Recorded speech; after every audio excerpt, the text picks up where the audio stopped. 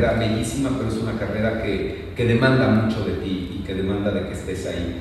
Entonces, sí toda la gente que ha salido de aquí, Eduardo Santamarina, Jorge Salinas, Fernando Colunga, este, es gente que ha estado estelarizando y protagonizando este, historias muy, muy importantes y que han salido también pues para el cine y para, y para muchos lugares, ¿no? Eugenio Derbez, Omar Chaparro. Eso es muy importante porque es cierto, o sea, ahora que estoy recordando los nombres, estoy diciendo algunos porque son los que la gente podría tal vez reconocer, ubicar. Sin embargo, hay muchos compañeros que están triunfando ampliamente en teatro. Teatro musical. En teatro musical, este, híjole, en otros países, hay compañeras este, que de repente la parte de la actuación tal vez no se vio por ahí y ahora son grandes conductoras. Entonces hay como muchos caminos, ¿no? Por los cuales seguir. Y por otro lado, yo me acuerdo que cuando entramos éramos 50 más otros tantos del, del liceo especial, que es un taller que casi siempre son estudiantes un poco más grandes, yo entré aquí de 18 años,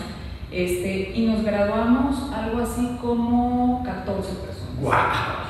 Lo cual, o sea, perdón que te interrumpa, te digo esto porque de repente somos muchísimos, ¿no? Y uno ve la cara de tanta gente, casi todos de provincia, muchos de acá, todos con rollos de, de, de dinero, de no tengo para la renta, de mi mamá me manda, o sea, con todas estas historias muy bonitas de no tengo refri, me acuerdo que mi mamá me decía, este, oye, pues te voy a mandar para un refri, y le decía, no, mándame para una lavadora, primero que nada, por favor, no, o sea, esas historias que de verdad la gente no sabe, que dicen, claro, ahí entran puros presas, puros, no es cierto, aquí estamos todos prestándonos el vale para ir a comer y que ahora, no, o sea, todas esas cosas muy lindas, este otro compañero que venía de lejísimos y entonces de repente se le hacía tarde porque el metro, porque el este, porque no, entonces todas esas cosas que la gente no sabe y hoy por hoy yo estoy muy orgullosa de, de a dónde he llegado porque sí es verdad, o sea, volteo hacia atrás y digo tantos años de, de luchar, de estar, de disciplina, de un sentido de responsabilidad que todos los que estamos aquí sabemos, ¿no? Que a veces tienes cuestiones personales bien fuertes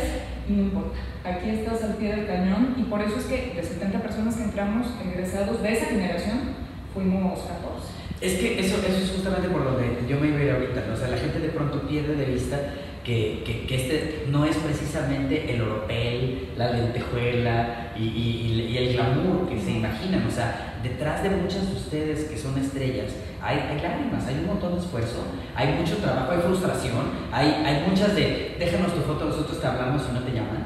O sea, que lo hemos vivido todos. El glamour, el oropel y la lentejuela existe y dura 5 minutos. Las otras 23 horas con 55 minutos son de trabajo, de esfuerzo, de disciplina, son de de repente saber que a mí me pasó, tienes a tu papá en una plancha que lo están operando del corazón y yo tenía que venir a grabar agujetas de color de rosa y después tenía dos funciones en el Teatro Jorge Negrete haciendo engaño, ni siquiera a teatro lleno y yo tuve que ir y me salía a ver cómo estaba mi papá y cómo estaba mi mamá y tenía que estar aquí trabajando porque, porque en este trabajo eh, a veces no es tan fácil que te suplan, nadie es indispensable, pero, pero tienes que estar, tienes que hacer las cosas. Eh, sí, hay que voltear para ver de dónde viene uno, pero no para decir, este, es que yo vengo de ahí, sino para saber que uno ha crecido, para saber que uno ha logrado, que uno, uno se ha seguido preparando y que hay que prepararse en muchos sentidos. Hay que prepararse académicamente, hay que para- prepararse emocionalmente, mentalmente, espiritualmente. Esta es una carrera en la que, como en todas, cualquier ser humano tiene que cerrar el círculo. Y sí, la carrera te va llevando, lo que dices, ¿no? Yo cuando empecé también, Omar Fierro y yo éramos vecinos a tres cuadras y decidíamos desayunar y si desayunábamos nos veníamos caminando de Avenida Universidad a Televisa o tomábamos el pecero para llegar acá. Así eran las cosas y eso fue en el 87, ¿no? Digo, ya, ya llovió. Y ahora volteamos para atrás y dices, qué padre.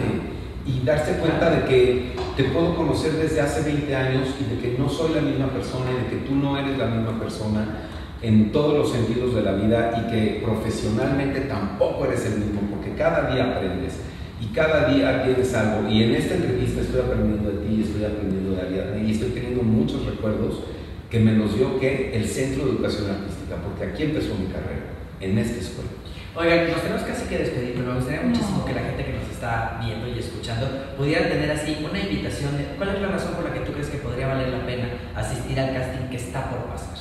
Híjole, vale la pena, pues no terminaríamos con más esta entrevista. La verdad, yo, yo los invito a que hagan este, el casting, la audición, que llenen la solicitud, si tienen alguna, si tienen esta inquietud, si, si tienen esta curiosidad, eh, y si Dios quiere y todo se da y llegan a estar hasta acá, de verdad, valoren cada segundo, así sea que, que en el futuro tal vez no sean actores tal vez eh, no sean cantantes o conductores, de verdad estar aquí es una experiencia tan bella, tan privilegiada, tan, tan linda, entonces hágalo, de verdad, y más aún si tienen el sueño de, obviamente estar en la televisión, en el teatro, en todo esto, no, no pierdan.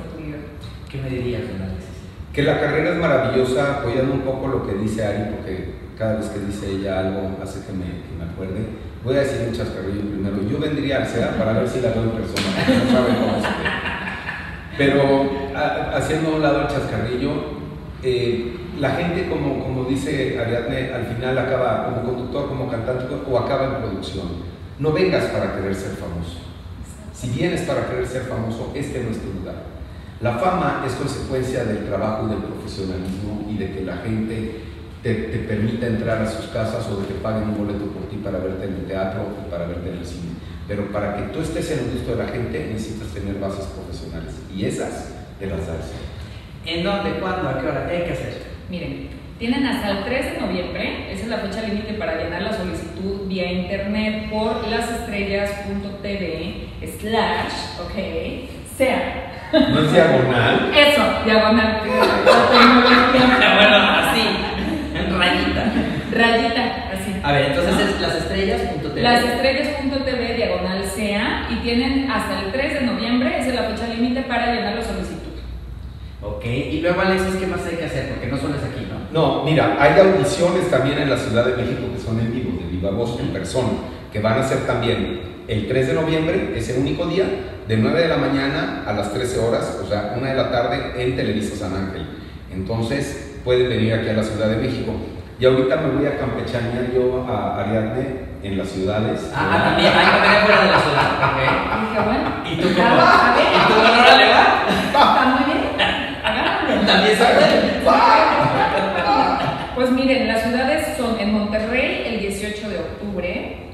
Guadalajara, 26 de octubre. Síguete, síguete, Ari, síguete. Ok, ok. Bueno, Monterrey 18 de octubre, Ajá. Guadalajara 26 de octubre, Ciudad Juárez 1 de noviembre, Tijuana 7 de noviembre, Hermosillo 13 de noviembre, Toluca 15 de noviembre. O sea, hace que ya estamos a nada, ¿no? Estamos a nada, háganlo, persigan sus sueños, pero persiganlos despiertos. Los sueños no, no se ven en la cama, los sueños se ven afuera de la cama, trabajando en acción. Bueno, haciendo. también a veces, ¿no? Oigan, no Este ya está pensando en otra no, cosa. No, antes de que se te convierta de Alexis y todo. ¿Qué? ¿Yo qué? De verdad, disfruten la audición, porque yo de verdad les digo, cuando hice esta audición en Guadalajara, que les decía, estaba tan nerviosa. Después dije, no pasaba nada. Hoy por hoy que los conozco, son todos lindísimos, los quiero. Gino Cobo ha sido como un padre para mí, de verdad. Entonces, yo les doy este consejo que cuando vayan no se paralicen así de chin la cámara, ¿quién está? Déjense ser, fluyan, Déjense ir. disfruten. Déjense ir, ustedes relajen. Busca la versión de igual y la tiene. A lo mejor ¡Cállate! Audición de- Y yo hice unas pruebas, yo no hice audición, yo llegué por el Star System, que era otra cosa, que lo tenía Nancy Botman, y a mí me mandan con el señor Cobo. Pero ya estando antes de entrar SEA, hice unas pruebas que se llaman la ABC, y me tocó hacerlo con Gaby Goldsmith, la pisé, a la hora del beso la mordí, a la hora de la violencia la jalé, pobrecita La Gaby porque tenía que jalonearla, entonces era la violencia, y a la hora, a la hora del romance la tengo que besar, la mordí, ¿no? No, bueno. Porque, te- o sea, era Gaby Goldsmith, ¿me entiendes? Y yo me puse tan nervioso y todo, pero qué padre acordarse de todo Ah, eso. ¿Cómo no? ¿Cómo no? Somos Sí. unos productos de lo que hemos vivido todos, así que Así es, es. maravilloso recordarlo. Y bueno, a ver, nos van a acompañar a dar un recorridillo por ahí, ¿no? Sí. Para ver qué más hay. Pero bueno, muchas gracias por acompañarnos.